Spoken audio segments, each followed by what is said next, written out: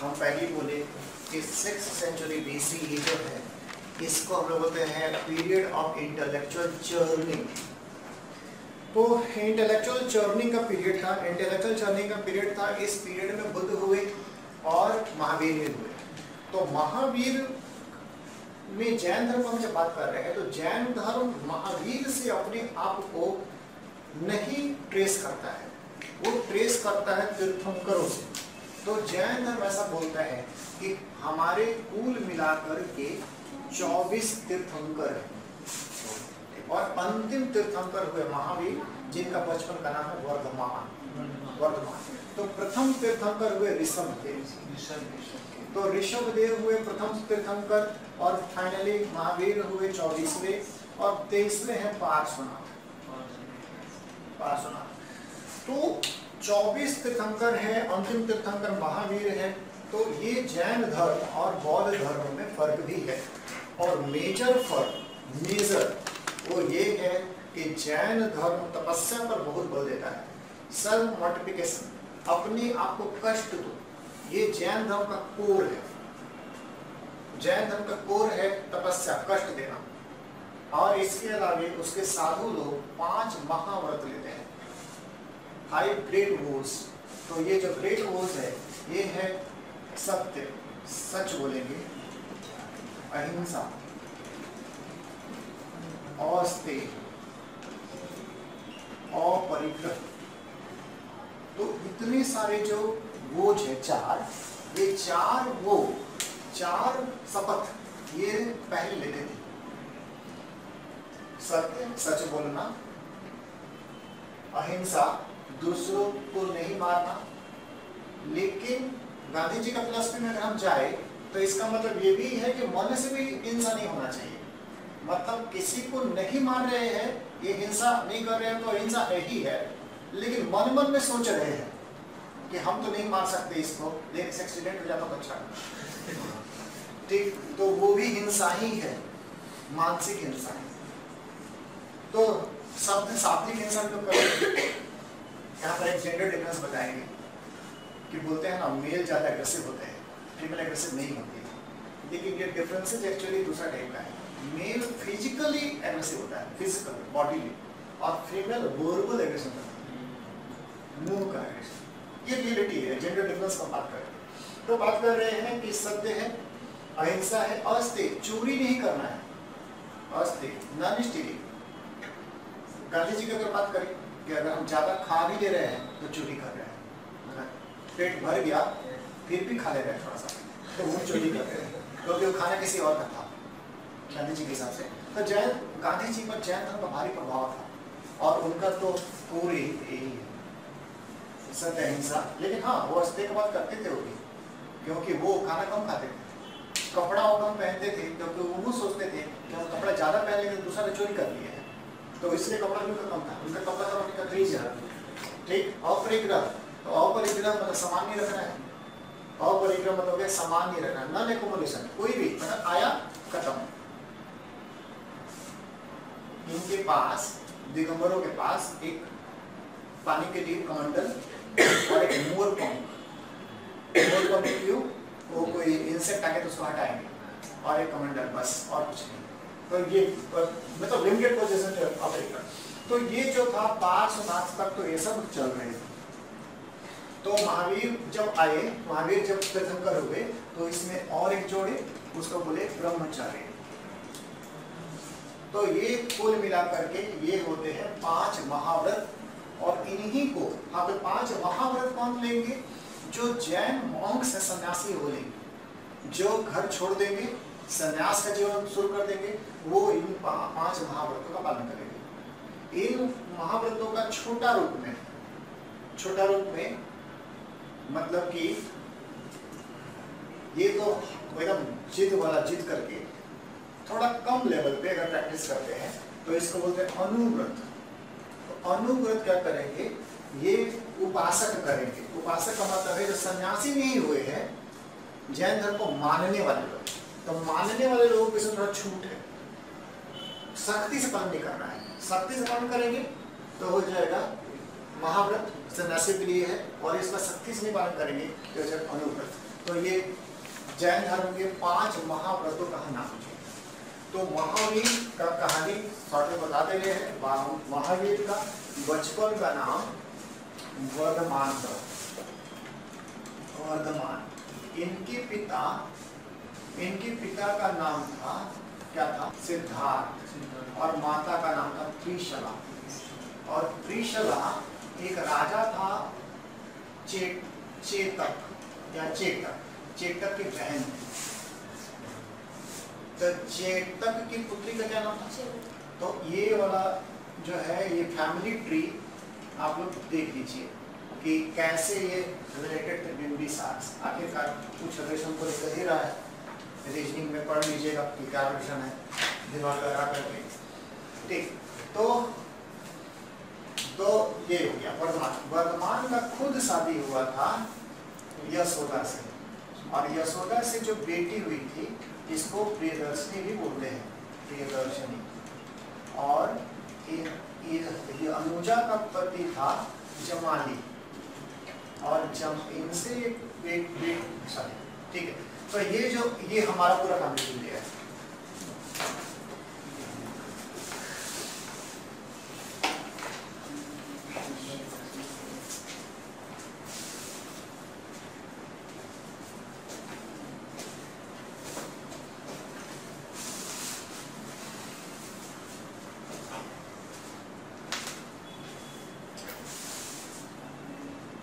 जो लोग पहले से क्लास कर रहे हैं डिटेक्ट कर लेंगे आराम से।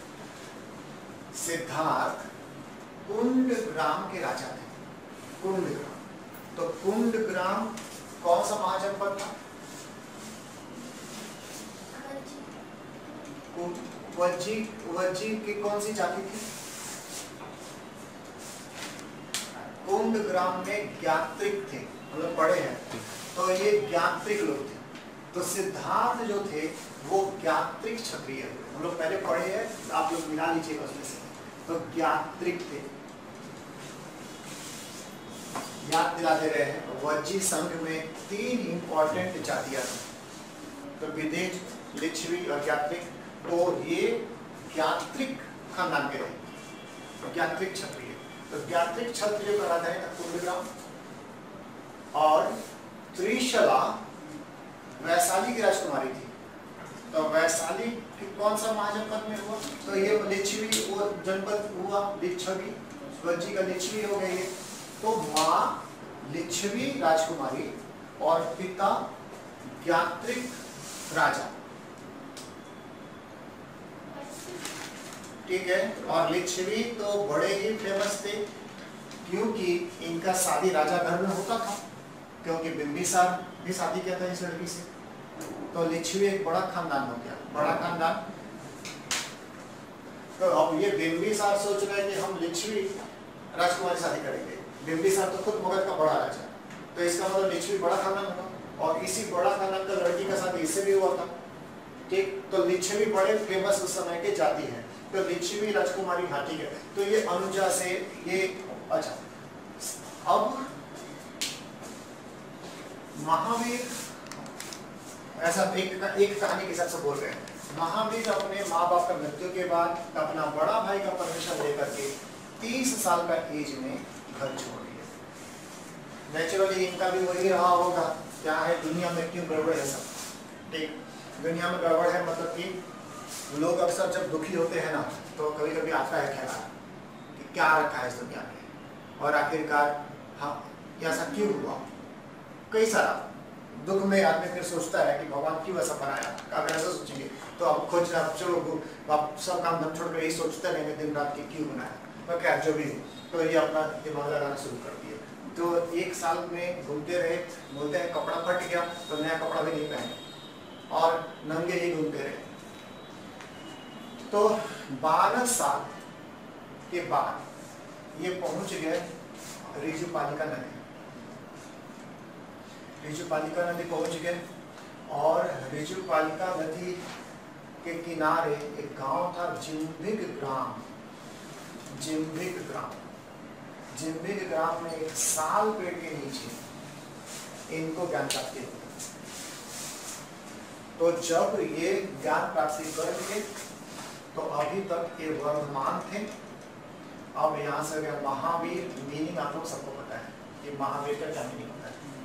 महावीर बहुत बड़ा वीर वीरता का काम की एक तरह का ये। दूसरा इनको बोलते हैं केवलिन अच्छा जब ये ज्ञान प्राप्ति किए तो ज्ञान प्राप्ति को बौद्ध धर्म बोलते निर्माण इस धर्म में बोलते हैं कैवल्य। महावीर को क्या प्राप्त हुआ? कैवल्य प्राप्त हुआ। बुद्ध को क्या प्राप्त हुआ? तो निर्माण प्राप्त हुआ। और हिंदू को अगर प्राप्त होगा तो मोक्ष प्राप्ति होगा। हाँ ज्ञान प्राप्ति हो जाएगा तो मोक्ष प्राप्ति हो जाएगा। तो ये कैवल्य प्राप्ति हुआ। तो कैवल्य प्राप्ति हुआ, इसलिए को बोले केवलिन कैवल्य प्राप्ति हुआ। इनको अरहंत बोलते हैं, अरहंत। अरहंत का मतलब होता है योग्य। योग्य। योग्यता है इनके पास, अरहंत। इनको निर्ग्रंथ भी बोलते हैं। निर्ग्रंथ। निर्ग्रंथ। अब ये निर्ग्रंथ। अगर समझना चाहे तो ऐसे समझेंगे कि हम लोग सब बंधे हुए लोग मतलब हम लोगों को अगर आप, अगर ऐसा बोलना चाहें तो भगवान बाँध बाँध के गिट्ठा बाँध के बस इतना ही मेरा गिट्ठा गिट्ठा ऐसा है मेरे हिसाब से हम समझाने के बात करें। यहाँ पर मैग्नेटिज्म है, लेकिन तुम्हें समझ समझ में आएगा नहीं। यहाँ पर गाना भी बज रहा है। लेकिन हम लोग को कुछ नहीं पड़ रहा है। एफ़ एम लाइए वो बता देगा कि गाना है यहाँ पे। तो हम लोग लिमिटेड लोग हैं। हमारा विंडो जो है ना मतलब विंडो का मतलब है कि हमने घर में बंद कर दिया है और कहीं कहीं से होल्ड किया है। यहाँ यहाँ से देख लो। सब मत देखना। अगर सब हम देख पाते तो यहाँ पर हमको कितना कितना साउंड दिखता। कुत्ता पे रख देते तो भुगते भुगते उधर दौड़ता। क्योंकि उसको उधर साउंड मिलता हमको नहीं मिलता क्या पागल हो गया है? तो कुत्ता उस हिसाब से हमसे ज़्यादा विंडो दे दी है तो थोड़ा वो वाला भी उधर से भी देख लो साउंड। हाँ सर चमगादड़ चमगादड़ घूम रहा है उसको पूरा सब साउंड सुनाई पड़ रहा है। और हम लोग अगर उसका आँख बंद भी है तो वो घूम के सब नेगेटिव कर लेगा। हम लोग आँख बंद करेगा कुछ नहीं कर पाएँगे। तो उसको विंडो थोड़ा ज़्यादा भगवान देती है तो थोड़ा ज़्यादा विंडो ले लो। तो हम लोग लिमिटेड विंडो हैं हम लोग बंधे हुए और भी। हम बंधे कैसे? हैं तो बंधे हैं तो मुँह में बंधे हुए कृष्णा में बंधे हुए हमको नौकरी ही चाहिए, अगर बात करें तो। बिज़नेस तो हम करेंगे नहीं बंधे हुए हैं। हो सकता है ज़िंदगी जो है, वो रहा है बिज़नेस करने के लिए, लखपति, करोड़पति बनने वाले हैं, लेकिन बंधे हुए एक तरह से बोल रहे हैं। एक उसके पीछे भाग रहे हैं, जो लाइफ को खराब कर देगा। होता है ना, कई बार लोग उससे शादी कर लेते हैं। पहले तो पागल जैसे करेंगे शादी करने के लिए। और शादी के बाद एक ही साल में डिवोर्स डिवोर्स करने लगेंगे। तो लिमिटेड ही बोला बुद्धि हमारा। तो ये निर्ग्रंथ है, ये सब अपना कैंची, खुद ही अपना कैंची बना के सब काट और काट के मुक्त हो गए। अब ना किसी चीज़ का चाहत रहा, ना कोई इस तरह का बेवकूफ़ी करने का बात रहा। तो ये जो हुआ, ये निर्ग्रंथ हो गया। अपना अपना ग्रंथि को काट काट के मुक्त हो गए। तो निर्ग्रंथ हो गया और साथ में बोलते हैं जीन तो जीन का मतलब होता है महान विजेता। तो ये सब नाम हम लोग महावीर के लिए यूज़ करते हैं। अगर आपको महावीर बोला जाए केवलिन बोला जाए, अरहंत बोला जाए निर्ग्रंथ बोलता है, जिन बोला जाए तो सब आप समझिएगा महावीर को ही बोलता है। तो इस तरह से महावीर निर्ग्रंथ हो गए। कहानी ऐसा सुनाते हैं। अब ये वाला ज्ञान का बात कर दे कि दुनिया में हर दुनिया में जो भी चीज़ हम लोग देख पाते हैं, हम लोग का लिमिटेड परसेप्शन होता है। लिमिटेड परसेप्शन होता है, क्योंकि हम लोग बंधे हुए लोग हैं। बंधे हुए लोग हैं कहने का मतलब कि हम किसी चीज़ का एक पार्शियल व्यू पार्शियल व्यू ले पाते हैं। और पार्शियल व्यू क्या है?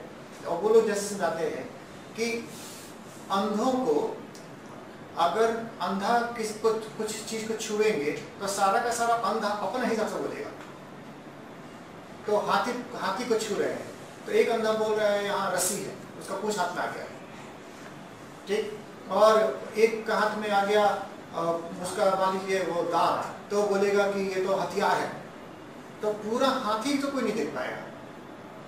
लेकिन ये जो होते हैं, निर्ग्रंथ लोग, जो कैवल ज्ञान का है, ये पूरा हाथी देख लेते हैं। मतलब वो ही देख पाते हैं। बाकी किसी का हम लोग लिमिटेड लोग हैं, हम लोग पूरा कभी नहीं देख पाएँगे।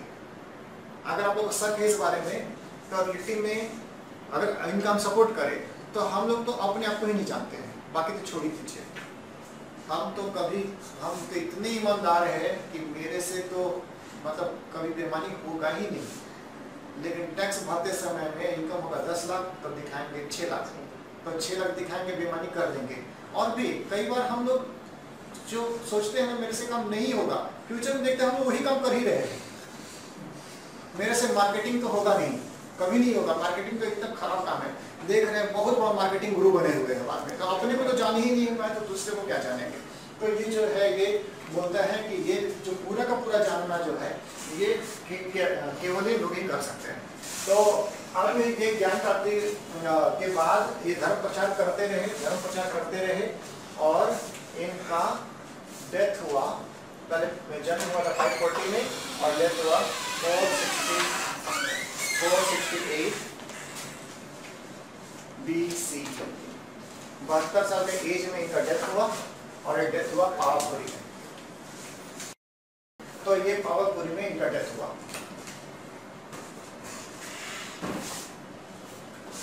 बाद में उस कहानी को कंप्लीट कर ही दे रहे हैं, बात को पूरा। बाद में पावर बहुत बाद में 200 साल बाद का बात कर रहे दो ढाई साल के बाद दो ढाई सौ साल बाद मगध में एक राजा था, उसका नाम था चंद्रगुप्त मौर्य। चंद्रगुप्त मौर्य का शासन काल में मगध में एक बहुत बड़ा अकाल पड़ा। तो उस अकाल में एक व्यक्ति था, उसका नाम था भद्र बाहु हम थोड़ा शॉर्ट में कहानी सुना दे रहे एक भद्र बाहु नाम का व्यक्ति था, उस भद्र बाहु के साथ राजा चला गया श्रवण बेलगोरा मतलब राजा यहाँ आज ये मैप मैप में यहाँ का राजा, यहाँ अकाल पड़ा तो राजा एक सन्यासी के साथ भद्र बाहु जैन सन्यासी, उस जैन सन्यासी के साथ चला गया मैसूर मैसूर का श्रवण बेलगोरा श्रवण बेलगोला में जा करके वहाँ पर वो अपना भूख से जान दे दिया। अब भूख से जान इसलिए दे दिया क्योंकि जैन धर्म में कष्ट दे के मरने को अच्छा मानते हैं। संलेखन, कष्ट देना, जैन धर्म का कोर, कष्ट देना है। सच बोलना है। और अहिंसा, घोर अहिंसा। लेकिन अपने साथ करते हैं। हिंसा एक तरह का। तो ये ये भूख से जान दे दिया। राजा भूख से मर गए ठीक भारत में सब भी होता है। राजा भूख से मर जाए, कौन सोचेगा कि राजा भूख से मर गया? हाँ लेकिन राजा भूख से मर गया। राजा भूख से मर गया। इसको दूसरा ये होता कि वो संलेखन से अपना प्राण दे दिया। प्राण दे दिया। भद्र वो वापस आया। वापस आने के बाद जो जैनी यहीं पे रुक गए थे, कुछ जैनी लोग वहाँ रुक गए थे, कुछ जैनी लोग नीचे चले आए थे। तो यहाँ आ गए थे, उन पर बोला कि तुम लोग यहाँ रुक के अकाल का टाइम में धर्म तोड़ा है। धर्म का पालन नहीं किया है। अकाल में धर्म का पालन मुश्किल आया होगा। अच्छा तो आप लोग फिर सोचेंगे कि कैसा मुश्किल? हो सकता है कि चूहा को खाना पड़े, अकाल पड़ा हुआ है, अनाज तो मिलेगा नहीं हिंसा करना ही पड़े तो जो भी हो। तो ये जो आने का डिस्प्यूट हो। डिस्प्यूट हो गया तो डिस्प्यूट इतना आगे बढ़ गया कि जैन धर्म दो टुकड़ों में बट गया। एक का नाम पड़ा दिगंबर और दूसरे का नाम पड़ा श्वेतांबर श्वेतांबर तो दिगंबर और श्वेतांबर मुख्य मुद्दा था कपड़ा पहनना। दिगंबर बोलते थे कि कपड़ा नहीं पहनना है। नाम ऐसा याद रखेंगे, दिक दिक मतलब दिक दिक मतलब दिशाएँ दिक सूचक यंत्र दिशा सूचक यंत्र तो दिक मतलब दिशाएँ यानी अंबर अंबर मतलब कपड़ा। पीताम्बर पीला कपड़ा। दिगंबर तो दिशाएँ ही जिनका कपड़ा हो मतलब कि कोई कपड़ा नहीं। ये जो दिशाएँ है यही कपड़ा है तो दिगंबर हो गए कोई कपड़ा नहीं। श्वेतांबर सफ़ेद वस्त्र तो सफ़ेद वस्त्र वाले और दिगंबर, बिना कपड़े वाले।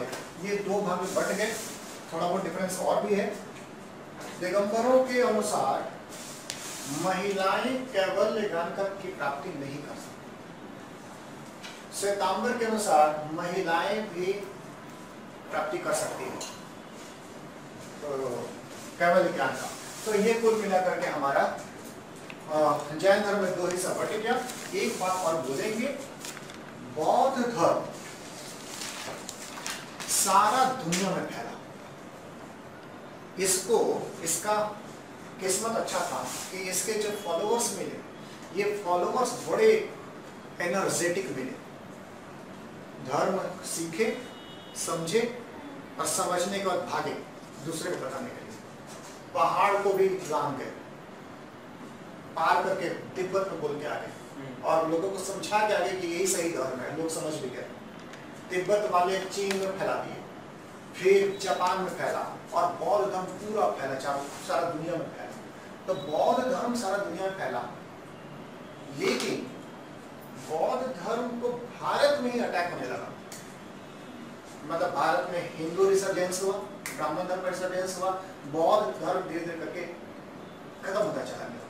शंकराचार्य है, शंकराचार्य बौद्धों को शास्त्रार्थ में पराजित किए और पराजित करने के बाद बहुत लोगों को ब्राह्मण धर्म फिर से सनातन धर्म कन्वर्ट कर दिए फाइनली मुस्लिम लोग आए और मुस्लिम लोग आए तो बौद्ध धर्म को खत्म ही कर दिए फाइनल तो जो धर्म भारत में जन्मा, वो भारत से गायब हो गया। लेकिन दुनिया में रह गया।